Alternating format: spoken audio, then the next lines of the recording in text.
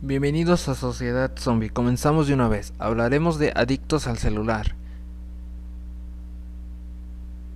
Como verán chicos, esta es una mm, opinión pues. El celular básicamente es un aparato el cual nos sirve para comunicarnos entre nosotros, los seres humanos, también para tomarse fotos, videos, pasarse información, anotar una nota y jugar uno que otro videojuego. Pero lamentablemente ya hay una gran adicción a los videojuegos. No nomás a los videojuegos, sino que también hay una gran adicción al celular. Sí chicos y chicas, muchas personas que son adictos al celular piensan que el celular es su único amigo el cual lo utilizan para evadir la realidad. Es decir, un celular lo utilizan los adictos al celular solo para evadir la realidad de sus problemas, de su situación, de la rutina y piensan que la adicción del celular es bueno. Pero en realidad lo que están haciendo es matarse su vida, matar su tiempo. Y básicamente los adictos al celular están tan conectados al celular, tan apegados al celular, que se olvidan de cuidar su físico, de cuidar su vida, de cuidar su salud, de cuidar su bienestar. Básicamente destruyen su vida,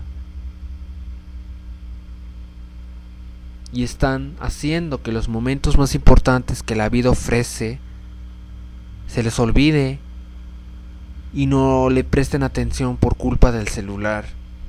Y esos juegos que hay en el celular son básicamente para que el adicto al celular aumente su adicción y aumente su adicción. Y esto ya es un problema serio y global, porque ya casi Todas las personas del mundo utilizan el celular como una excusa para evadir la realidad y una excusa para olvidar sus obligaciones y obligar sus responsabilidades en su vida diaria, como cuidar los hijos, como cuidar su salud, como cuidar su físico, como vivir la vida al máximo. Y muchas personas utilizan el celular solo como muro de evadición de realidad. Pero cuando una persona está a punto de morir, ¿qué hace en su celular antes de morir? Nada.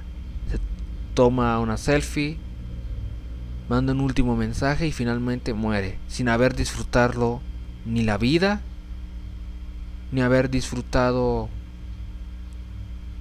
el ejercicio, sin haber disfrutado buenos libros que le ofrecían una buena lectura sin disfrutar nada de la vida. Y actualmente siempre vemos personas en restaurantes o en cafeterías con el celular, viendo el celular y no hablando conjuntamente como antes era. Es decir, antes las personas se comunicaban unas contra unas con otras, en cara en cara, sin celular, en una cafetería o en un restaurante. Eso era antes.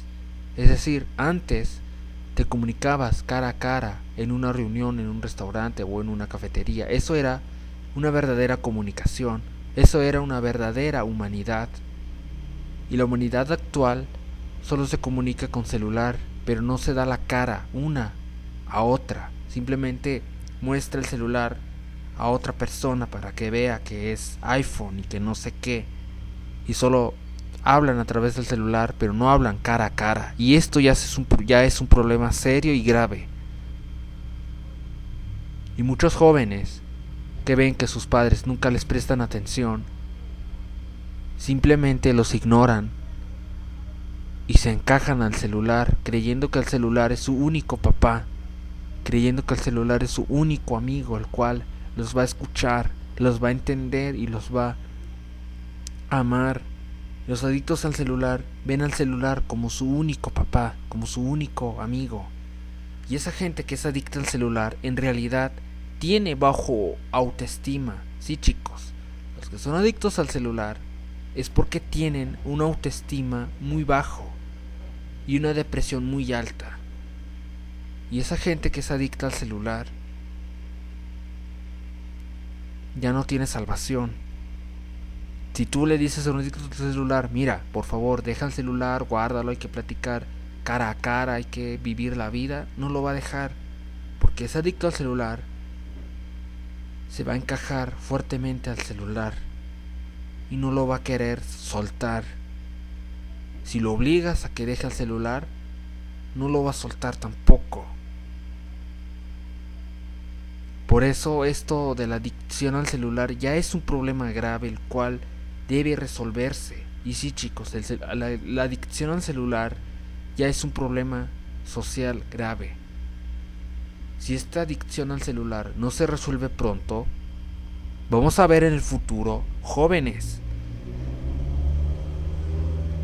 con el celular ya implantado en su cuerpo, los cuales no tendrán la voluntad de pensar, de vivir la vida y solamente vivirán en un mundo lleno de fantasía virtual.